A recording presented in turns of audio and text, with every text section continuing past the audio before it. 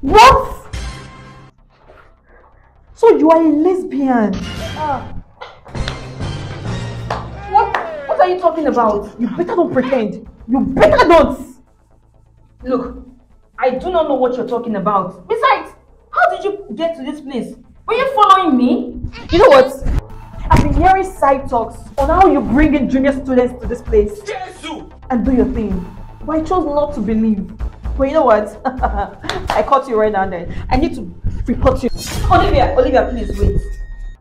I don't know who has been feeding you with wrong information. I do not bring junior students to this place. I only came here to, to fix up my hair and my shirt. So what did I just catch you doing now? Look, what you caught me doing is not important. You know we are seniors. Anything you say now will put a stain to our seniority. The junior students will look at us in a very bad way. Wait, wait, wait, wait. Did I just hear you say seniors? Yes. I know. Oh, you don't have to generalize it. Talk to yourself. You say myself because you are the one doing this shit.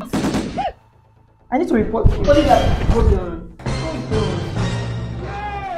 Hold on. Okay, fine. Fine, you caught me. but don't you think it would be nice if we do something fun instead? You know you're a fine girl. And you know I like you. Oh my god! Alright, that's good. I like it when you're free. Leave me!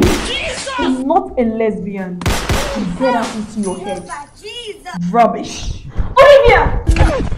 Wetin dey worry dis one? No, no, no, no, no.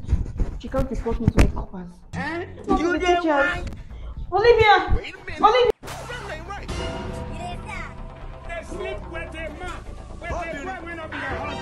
In this life, don't see people the way they are. I am that I am now. You are a prostitute.